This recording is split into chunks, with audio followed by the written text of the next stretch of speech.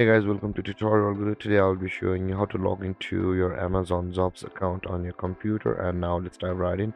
Now to log into your Amazon Jobs account, first open up your preferred browser. As I have already opened the Chrome. And on the search bar click over there and type in account dot amazon dot jobs like this. And hit on enter. And after that you'll be redirected to the job portal of Amazon.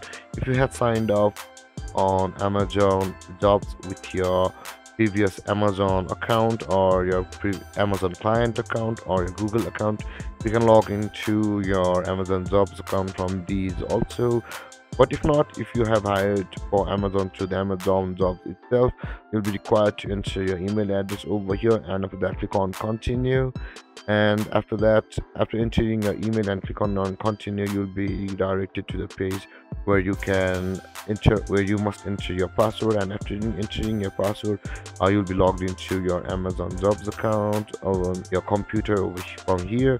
And uh, guys this is how you log into your amazon jobs account. And if you have any confusions or questions regarding the topic please feel free to comment in the comment section below. And don't forget to like subscribe and hit that bell icon for more videos. Thank you for watching guys. Peace